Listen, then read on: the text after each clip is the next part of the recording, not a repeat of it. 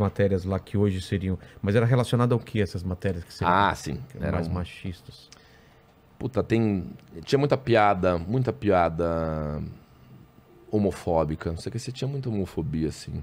Mas não era homofobia de. Ah, esses viados aí. É- é- Era, era sempre uma autoafirmação da nossa força masculina, Ah, entendi, entendeu? Nesse sentido. Era sempre assim, tinha muito isso.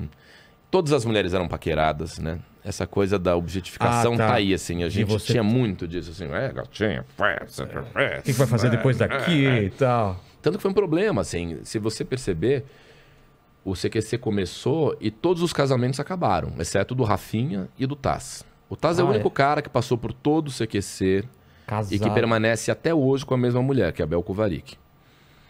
Os demais todos se separaram, todos. O Rafinha foi o último a separar, mas ele já nem estava mais no CQC. Ele separou da Júnia ano É, retrasado, uma coisa assim. É, mas assim, quando a gente entrou no CQC, era muito difícil se manter namorando, porque era muito. Era muito do embrião do CQC, uma coisa meio. Estamos tendo gravata, e aí? Você, você. E aí, pô, chegava em casa, a namorada enchia a porra do saco. Pô, puta matéria escrota que você fez. Esse, essa conversinha mole com a Fernanda Vasconcelos, com sei lá quem. Falou, "Ah, é o Meu piada, trabalho." É meu trabalho. pô." Aí ninguém conseguiu sustentar.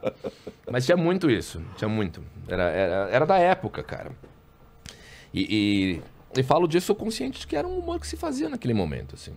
Né? Eu acho que não dá tem- separar. Não É. dá pra separar a época que foi feito do, do, que, do que era humor. Não dá pra você julgar. Poderia ter sido feito diferente? Poderia, mas. Cara, era o que. O que era, o que- é, é que nem você olhar pro Friends, pra qualquer coisa Sim. do passado. É, Sim. é o reflexo daquela época, né? Não, e tem muita coisa que tem que ser vista junto, né? O, o que se. O que se estava falando em termos É. de consumo, de política, de entretenimento, qual que era o tipo de veículo, de rede social vigente.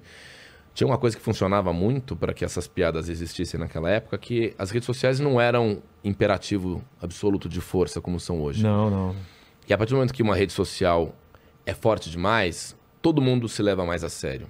Todo mundo passa a ter um. Não, veja, meu público, né? Você vê, minha mãe Meu. pensa, meu público. Minha mãe.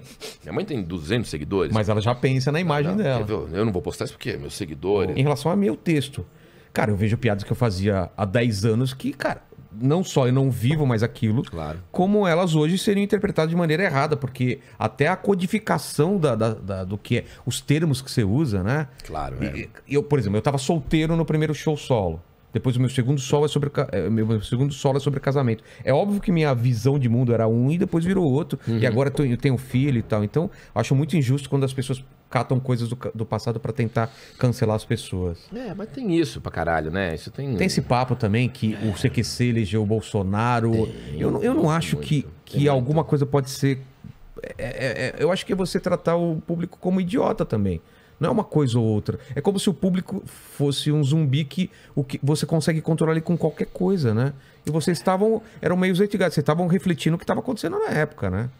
É, é, é impossível fazer uma análise fria e calculista de qualquer pessoa é, que estava exercendo um trabalho público, seja na comédia, seja no entretenimento, mas que tinha opinião, sem você olhar todo o entorno, né, cara? O CQC tem muito disso, assim. Volta e meia, algumas pessoas que não gostam, que já não tinham boa vontade com o CQC e não tem por que gostar, vão botar na conta do CQC um monte de coisas erradas, entendeu? É, vocês deram voz pro Bolsonaro, é o que eu mais ouço. É. o que eu mais ouço. Mas também, pô, cada piada bosta que vocês faziam, vocês fizeram um desserviço é, a, a mulher, um desserviço à comunidade gay. Tem muito disso, tem muito. Mas assim, é impossível falar sobre isso tão brevemente aqui no podcast sem entender tudo o que acontecia no entorno do qual todo mundo fazia parte, entendeu? O CQC era reflexo de uma sociedade. Porque dá a impressão que o CQC Ele tava ali, ele é... Ele... totalmente fora do- desse contexto e só ele era assim. Não, é, exatamente. Agora, tem uma coisa que é impressionante, né? A gente aprende, aprende muito, né? Eu, eu, eu sempre penso no Felipe Neto, que foi o cara que eu mais vi se fuder em relação às coisas que fez, postou e falou, Total. Diante do cara que ele hoje é, né? E ele tem uma frase que é interessante, assim. é, quando alguém fala assim, olha a merda que você estava falando há 10 anos, olha não sei o quê, ele responde com, você viu como eu era um babaca? Você viu como, como eu estava babaca? Mas vocês perceberam quanto eu pude melhorar? Vocês perceberam quanto eu consegui evoluir? É o que eu falo para as pessoas que podem dizer, puta, você fez essa piada naquela época, você fez isso que não foi legal. Pois é, mas olha em 2021 como deu para melhorar, olha como a gente conseguiu evoluir. Falando também sem muito sem muita crítica também. Sem, me amaldiçoar tanto, sabe? Eu sou contra não. essa coisa de ficar se penitenciando. Ah, eu fiz mesmo. Eu não fico pedindo desculpa pelas coisas que foram feitas. Entendeu? Porque essas coisas foram feitas, foram assistidas, foram queridas. Né? As e pessoas gostavam. Não foram nem, nem, nem é. ventiladas como alguma coisa machista, nem nada. Não, as que tinham que ser já foram ali, entendeu? É. Tem muita coisa naquela época. Quando a gente perdeu a mão, a gente apanhou lá também, é, entendeu? o caso do Rafinha, ou, sim, ou, sim. A, a, uma também que você falou da, de, era uma, uma série de mulheres sobre com, com mulheres, né? Sim, sim. É, sim, então isso sim. já na hora já aconteceu. Quando sim, o limite sim. era ultrapassado, né? É, a gente tomava, a gente era situado muitas vezes durante o CQC, mesmo durante a histeria do CQC, a gente tomava umas invertidas e aprendia com os erros, assim. Aprendia e tentava melhorar, e melhoramos muito. Né? Há uma evolução entre o começo do CQC e o final, sem dúvida nenhuma. Mas eu sou contrário também a essa coisa de ficar se massacrando, as piadas que eu fiz. É, eu também acho. Não sei o que... quê, aí peço perdão. Não, gente. Até porque é. vocês estavam com uma câmera filmando vocês. Se você pegar também um, a, a, vida pessoal das pessoas, a, a, relação entre as pessoas, o que era dito também, ia achar várias coisas que você fala, puta, eu falei isso. É que as é. pessoas não se lembram como eram há 10 anos atrás, porque não tinha a sua vida é, registrada no, no programa, né? Era um programa de